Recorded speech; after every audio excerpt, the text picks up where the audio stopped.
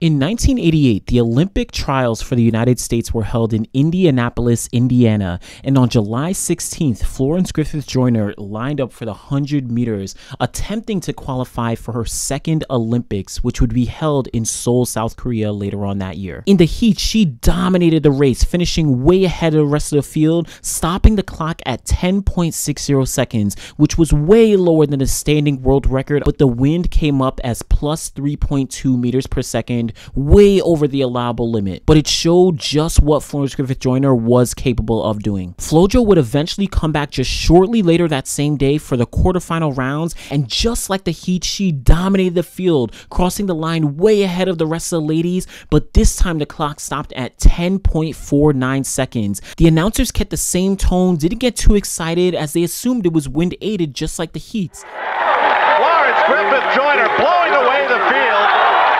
And at 10:49, wind aided 10:49.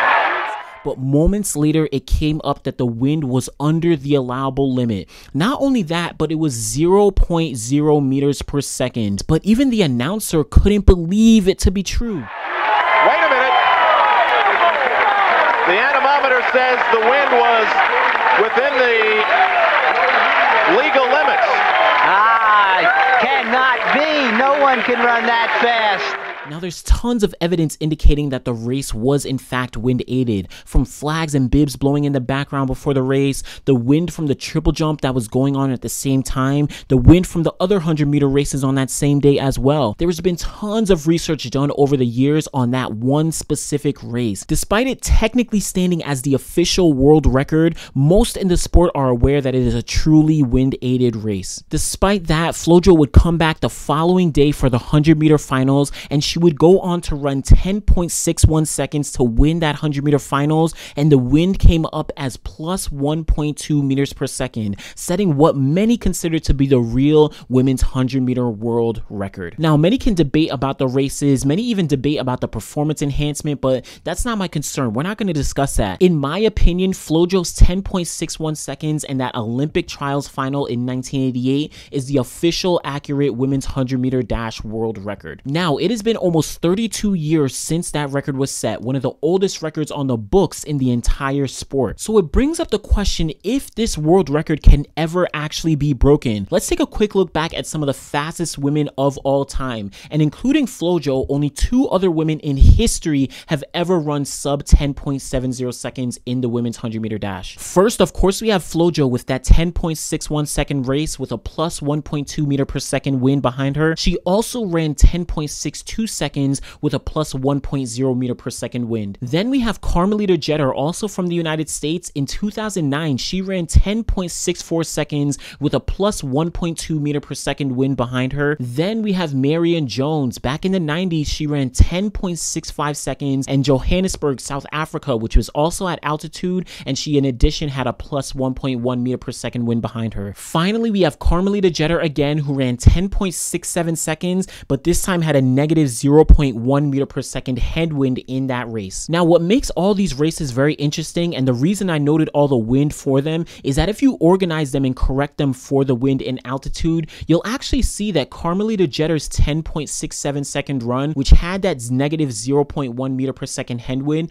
converts to 10.66 seconds faster than all the other races once we convert them for the wind and for the altitude. So, what does this all mean? No, I don't think Carmelita Jeter is the official world record holder in the women's 100 meter dash, but it does put into context that this world record is not completely impossible. It's actually somewhat attainable and can be looked at as somewhat in reach. If Carmelita Jeter, who is competing both winning and losing with some current ladies in this past decade, can actually get close to that world record, we might be able to see some of the current ladies or next generation of ladies get closer to that world record much sooner than we think. Now, let's take a look at some of the 100 meter ladies who are in contention to not necessarily break that world record, but get into that 10 6 range and push closer and closer towards that world record. So, first off, Sha'Carri Richardson from the United States, she had that amazing 100 meter run at the NCAA championships of 10.75 seconds just last year in 2019. She is very young. She was just a freshman at LSU, so she definitely has the potential to push lower into that 10-7 low range and potentially in the future into that 10-6 range. There's also Shelly-Ann Fraser-Pryce. Now, she is one of the greatest sprinters in the history of track and field. She has a personal best of 10.70 seconds set all the way back in 2012, but just last year at the Doha World Championships, she ran 10.71 seconds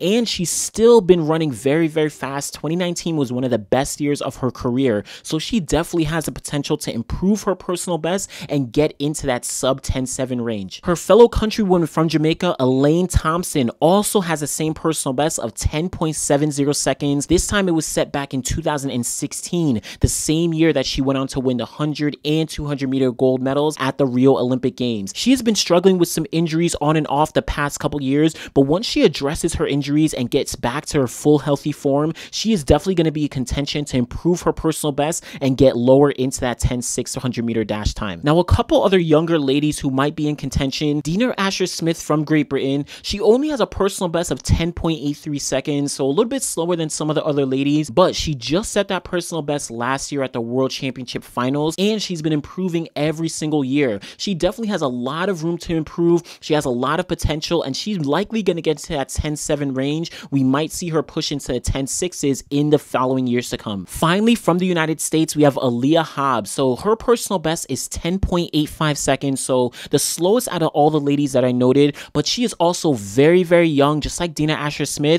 She has extreme consistency within the 10-9 range. She's been dealing with a few injuries the past couple seasons, but once she gets over those injury woes, just like Elaine Thompson, I think she's gonna be in that 10-7 range, and very likely in the future, she could push into that 10-6 range, so keep a lookout for her as well. Now, this is not an exhaustive list. There's tons of other ladies who are definitely in contention to get into that 10-6 range, such as Briana Williams from Jamaica, Kayla White from the United States, Natallia Whyte from Jamaica, even Gina Bass from the Gambia. And again, all these ladies, I'm not saying that they're going to break the world record or that world record by Florence Griffith Joyner is definitely going to go down, but these are some ladies who have the potential to push into that 10-6 range and push closer and closer to that world record. Of course, we know world records are meant to be broken. They won't last forever, but I think this is one that might have some potential and is not necessarily a completely impossible world record. So go in the comments below. Let me know if you think this world record of 10.61 seconds set by Flojo is an attainable world record and can be broken in the next couple years.